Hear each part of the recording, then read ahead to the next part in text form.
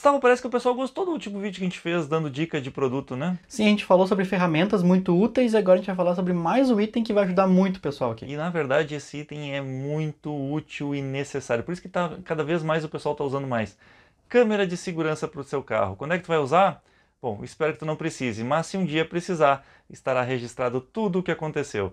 E olha, eu já fiz um vídeo desses, mas essa câmera que eu comprei agora é muito melhor do que aquela primeira de 2017.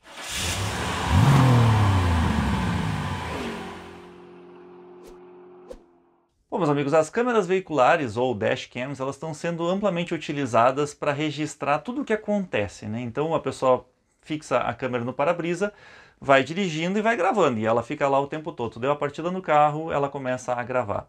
Essa mania, digamos, mundial começou na Rússia, onde tem vários casos de pessoas que provocavam acidentes para tentar indenização, processar o outro envolvido, né, mesmo que ele fosse o responsável.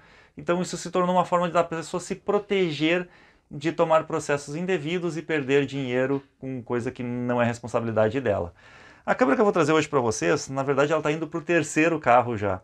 É uma câmera da Xiaomi 70 Mai S1, ou melhor, 1S, né Gustavo? 1S. É, é uma câmera muito melhor do que aquela, por quê? Que ela tem uma resolução muito melhor, ela tem conectividade com o celular via Wi-Fi, então tu consegue baixar os vídeos direto no celular, e ela é uma câmera fininha, ela não atrapalha, a outra é uma câmera grande, sabe? É, quanto mais a tecnologia vai evoluindo, melhores elas ficam. Ela usa um cartão SD, aqueles pequenininhos, micro SD, né, que vai aqui no cantinho, não vem junto com a câmera. E lembrando, né, meus amigos, eu vou deixar o link aqui embaixo na descrição para compra desta câmera, do cartão e até mesmo outras opções. Por quê? Porque esta câmera ela vem da China. A Xiaomi é uma empresa chinesa, uma empresa de ótima qualidade. Eu pelo menos tenho vários produtos da Xiaomi. E eu vou dizer que dá para comprar sem problema nenhum, chega tranquilo, sem estresse, demora. Tem uma câmera brasileira que é uma não vou dizer uma cópia porque cópia é feio, né? Mas ela é inspirada nessa câmera da Xiaomi, feita pela Intelbras e que é um pouquinho mais caro, mas tu consegue comprar e chegar bem mais rápido. E também não tem aquela questão de custos de importação e tudo mais, que muitas vezes nem está pegando hoje em dia, né? Enfim, as duas câmeras são muito boas e eu vou mostrar essa aqui porque é a que eu tenho e já uso há uns dois anos mais ou menos. Primeiro, ela usa uma lente da Sony com abertura de 130 graus, ou seja, tem um amplo uh, ângulo aqui, uma visão angular bem grande, para pegar mais os detalhes de tudo que está acontecendo ao redor. As lentes da, da Sony, você sabe, né, são uma das melhores do mercado. Ela grava em Full HD, ou seja, 1080p, por isso o cartão pode ser um cartão ultra, não, pode, não precisa ser um cartão aquele é, mais top, mais caro do mundo, pode ser um cartão um pouquinho mais simples. Não pode ser o cartão mais básico, aquele todo preto, mas esse daqui que eu vou deixar na descrição já resolve. Vocês vão ver que não é muito caro não cartão 16 GB já é suficiente, esse aqui é um de 32 que eu comprei para assim, garantir que vai gravar. Bom, vamos lá para o carro, vamos instalar ela para vocês verem como é fácil de instalar e depois eu vou mostrar uh, o resultado, né, andando com ele no dia a dia. Quem vai receber ela agora é o Acorde, o carro recém-chegado na família. Bom, meus amigos, primeira coisa que tu vai precisar, quando tu compra ela nova, ela já vem com uma fita dupla face aqui e vem até com um plástico que ele gruda no vidro. Neste caso aqui o plástico já estragou, porque eu já troquei de carro duas vezes, então eu vou ter que usar uma dupla face comum, botar aqui umas fitinhas para garantir que ela vai prender no carro, né? Então, rapidinho aqui, só dar uma limpada no vidro e colar a fita dupla, dupla face aqui. Não precisa nem botar muita dupla face, tá? Só um pouquinho já segura bem.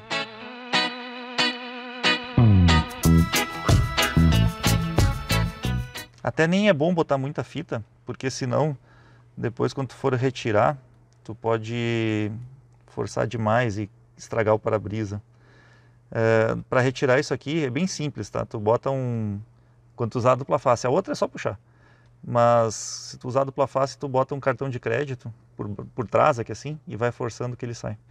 Detalhe que a gente não falou, quanto custa essa câmera? Bom, os preços variam, né, meus amigos?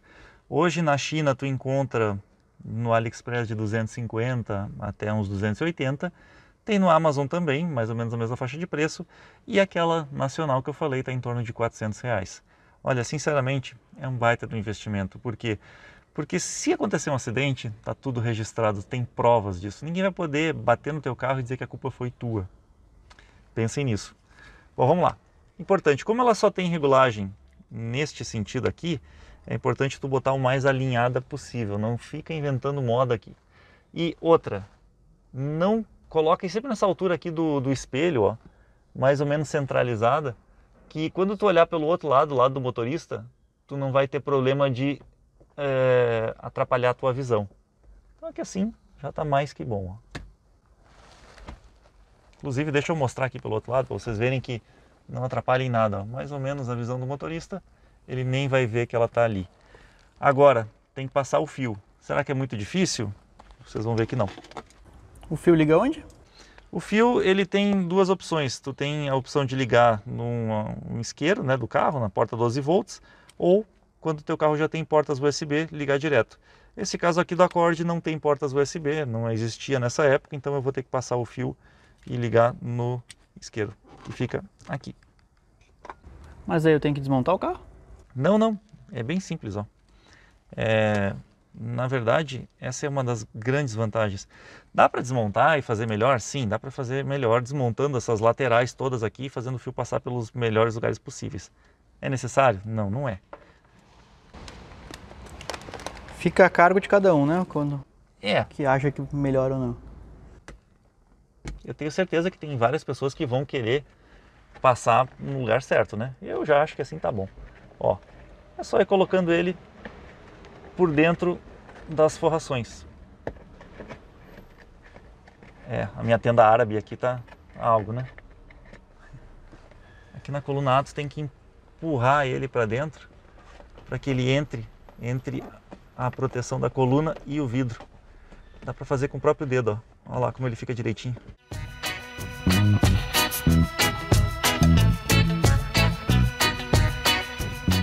Mas fica bem escondido. Fica, fica, fica. Inclusive dá para fazer muito bem aqui, ó, passando lá por trás. Mas eu, sinceramente, eu faço do jeito mais simples. Que é aqui, ó. Coloco aqui assim no painel e ele já esconde bem esse fio.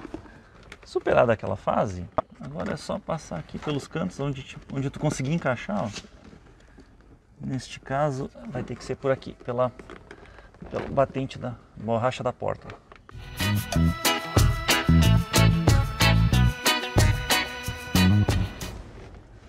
Nossa, aqui é tudo fechado. Deixa eu ver se dá pra passar por dentro do porta-luz. Dá pra passar. bom que a gente não treinou antes, tá? É a primeira vez mesmo. É claro que não. Como é. Exatamente, para mostrar que é fácil mesmo. A gente vai descobrindo na hora. Mas não é a primeira vez que eu faço isso, tá? Então, eu já sabia mais ou menos o que, que dava para fazer e o que, que não dava. Mas nesse carro aqui eu nunca tinha passado.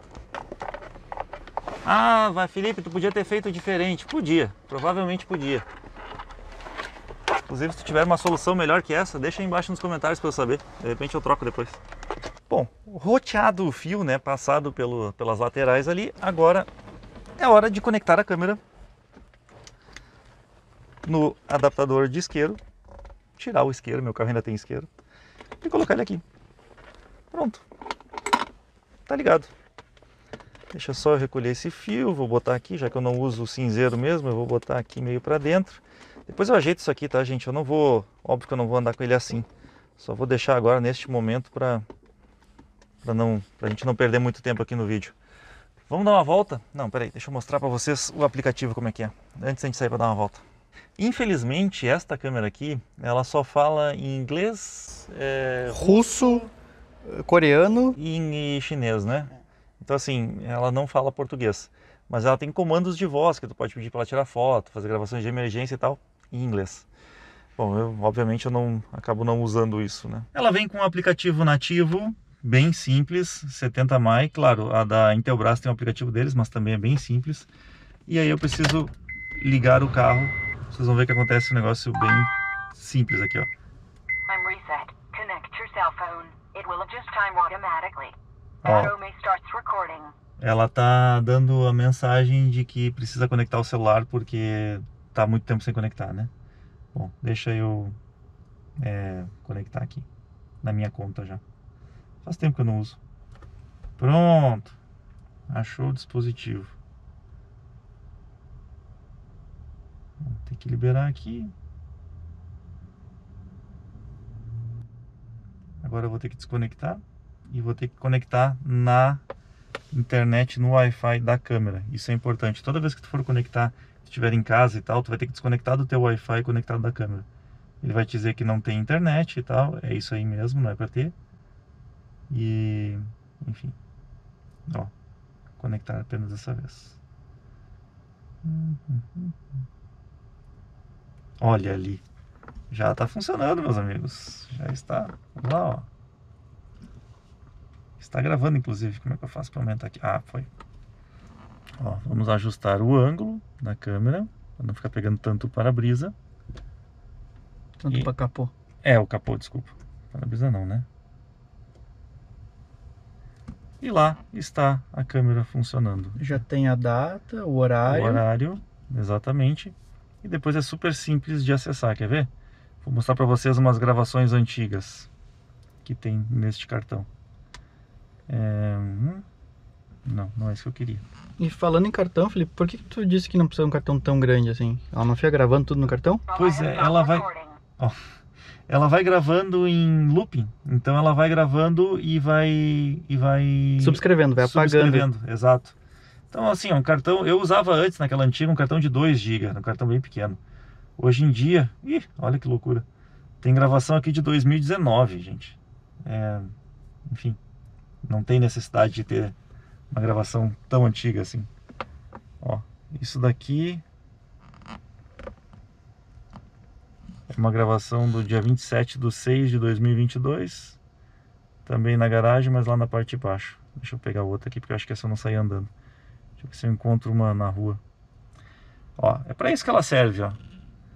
Aqui é uma gravação antiga, do dia 27 de 6 de 2022 e está gravando a rua. Então, se por exemplo nesse cruzamento aqui passasse um carro, um motoqueiro e causasse um acidente, seria bem fácil de identificar quem foi o responsável. Caso tenha sido eu, seria claro que eu ia assumir, mas se fosse outra pessoa ficaria fácil de ver. Ela tem uma boa resolução, ela não pega placas muito longe, mas se tu, quando tu aproxima do carro, peraí, quando tu aproxima, aproxima aqui assim do carro é possível ver. Uh, bom, aqui eu não vou conseguir dar um zoom, mas dentro do computador é possível dar um zoom e eu já consegui identificar. Só que tem que ser assim, ó, quando o carro está passando bem próximo da câmera. O que é mais do que suficiente, né? Bom, o fato é o seguinte, meus amigos. Esta câmera aqui tem uma qualidade de vídeo muito melhor, muito superior àquelas outras comunzinhas, até mesmo aquela que eu já tinha gravado aqui no canal. Aquela que eu tinha tinha uma câmera para frente, que é o caso dessa, e uma câmera para trás, que ficava filmando o carro. Como eu não faço aplicativo, não sou motorista profissional, não tenho necessidade de ter uma câmera virada para dentro. Mas existem outras câmeras, eu também vou deixar o link aqui embaixo, que ela tem... Ó, começou a gravar. É, tem câmeras que tem a opção de colocar uma segunda lente lá atrás do para-brisa traseiro. Então tu bota uma aqui na frente, liga via cabo uma câmera lá atrás e ela fica filmando os dois pontos do teu carro, tanto o problema na tanto a parte da frente quanto a parte de trás. Se alguém bater atrás, registra também. Aquela que filma para dentro do carro, posso dizer para vocês sem medo de errar, ela não registra nada do que acontece lá fora. Ela registra mais as pessoas que estão aqui dentro. Então se tem motorista de aplicativo, taxista e tal, aquela que registra aqui dentro é importante. Se tu é um motorista particular, como é o meu caso, assim, particular não diria, né, mas não é profissional, não usa o carro para trabalho, sim, para deslocamento próprio, aí pode ser interessante esta, que eu recomendo como sendo o mínimo, ou aquelas outras que tem a câmera separada lá atrás que consegue filmar o que está acontecendo. O que acontece dentro do teu carro não é tão interessante assim, né? Eu acho que deixa a privacidade nossa é, valer mais, né? E ela também tem um outro ponto legal, né? Quando ela escuta um barulho mais forte, ela começa a gravar em um lugar de emergência, né? Ela tem uma gravação de emergência que, por exemplo, quando dá uma batida seca no carro, pode ter sido um acidente. Ela já dá o aviso na hora dizendo assim que é, tá, foi iniciada a gravação de emergência. Se é, acontecer realmente um acidente, ela salva num lugar específico, mais fácil de identificar, mais fácil de achar o arquivo. Os arquivos ali têm mais ou menos 5 minutos de duração. Esse é o tamanho do loop. Por que, que ela não faz um arquivo contínuo? Primeiro, porque fica mais difícil de identificar. Segundo, porque ela não tem uma memória interna tão grande assim para poder fazer um arquivo gigantesco. Ela precisa de uma memória menor, né? Ela tem uma memória menor e ela vai gravando no, no cartão de tempos em tempos. E é engraçado, porque às vezes a gente já caiu em algum buraco que fez um barulho seco e ela falou que começou a gravar, né?